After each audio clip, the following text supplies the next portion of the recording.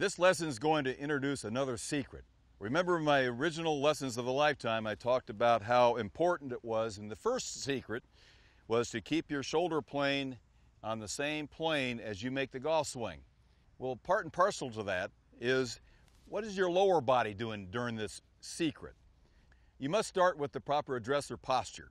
Let's briefly go over the posture. You start straight, you bend your knees, you stick your rear end out, and then you'll let your arms hang. That's where you grip onto the golf club, where your arms come together like this. When you have the proper posture here, you see there's a crease right here. There's a crease here and a crease right here. On the backswing, you keep that crease relationship with your upper, upper body and your leg right here on the backswing. On the downswing and into the ball, the key here, you don't want to lose that crease. You want to keep that crease right there into impact. And look what it does to the right knee, the left knee, the left hip.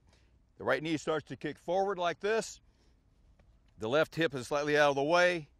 The crease is right here. And on the follow through, you straightened up like this and you're on your left foot. If you lose that crease either on the backswing or on the follow through like this, you're going to be out of balance. You're going to hit a lot of bad shots.